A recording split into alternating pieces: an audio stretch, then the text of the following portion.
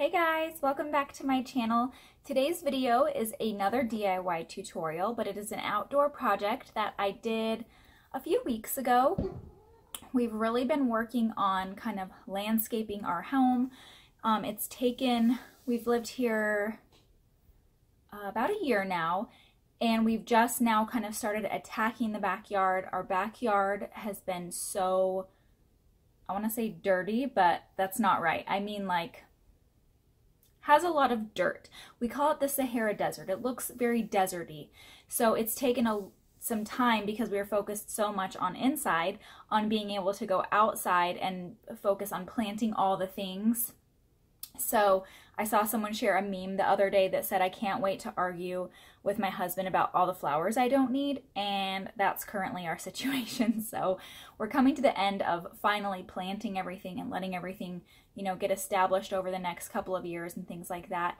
And I saw on one of my favorite Instagrammers, Instagram, on how she kind of took advantage of a brick wall space but grew a trellis in a really cool diamond shape. I've linked her blog down below if you want to see how she did it um, and follow her. Hers is amazing. Um, it's only a year old and it's just like goals. I want mine to look like that so bad. So I don't know. I have really no idea what I was doing. So we somewhat loosely followed her plan of how um, we did the diamond shape. I've put some other ideas down below for you though if you want to try not a diamond, you want to do a square or a bigger grid pattern or something like that if you want to try it. Um, we do have a brick exterior on our home, so we kind of used it for that. I don't know how it would work if you had traditional like vinyl siding, things like that. I don't know that I would probably do it then. I would maybe build something for you to have a trellis on. And the plant that we used was jasmine you need any kind of plant that will crawl. So you could also do like wisteria, any kind of ivy. I definitely wanted something that flowered. I love the way that jasmine smells. So I went to Lowe's. That's where I got my plants from. Um, I try to go to local nurseries as much, much as I can, but Lowe's tends to be kind of on my way where I travel a lot, so it's just easier for me to, to stop there. So I kind of walk you through the process of how we installed it, all we paid for were four plants. We had everything else on hand. We had nails. We had the, the specific kind of nails, I should say. You want kind of like a masonry nail that has like little grips along the nail so it kind of holds into the mortar a little bit more. We had the wire on hand. Of course, we had hammers, tools, and a handyman to help me. So I just kind of walk you through that process in this video. So if you'd like to learn how to make your own beautiful, hopefully someday, garden trellis, then keep watching. Okay, so once you've decided on where you're putting this and how big you want it to be, that's when you'll start to kind of measure out your space, figure out your pattern. The specific measurements that we did were pretty loose. We started about 8 inches above the ground and we had to work around those vents because our home's on a crawl space so you just kind of have to adapt for things like that. And then we started placing the nails and we followed a very similar pattern um, to Style Souffle of the Instagram I linked. So you can see what she did there. And it says really only if you're going to follow the diamond pattern like we did. So again, you want masonry nails because they're going in the mortar, in between the bricks. They need something to kind of grip in there.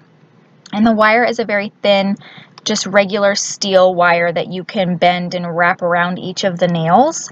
This is what your vining plant is going to go up.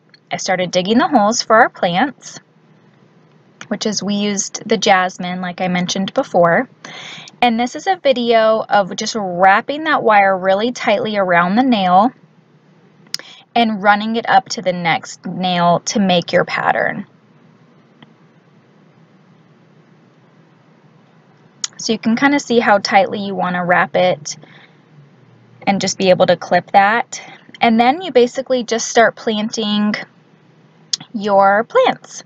So this is what I do before I plant things. I don't know if this is correct or not. So if you are, you know, have the award for the planter of America, I don't know, maybe you don't want to watch this, but this is typically how I plant my shrubs and things and help loosen them to get them into the soil.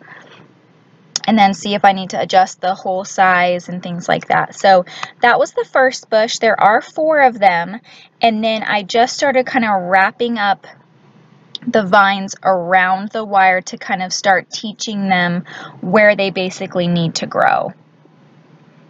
And you'll repeat that with the other three remaining plants.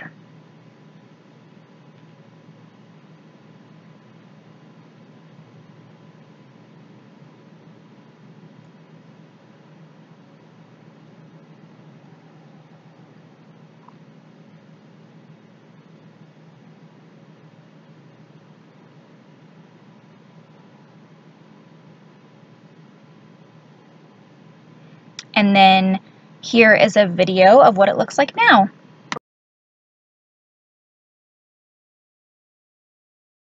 Well, that is it. I hope you guys enjoyed this tutorial. It's been a lot of fun to watch it. It's already had a little bit of new growth.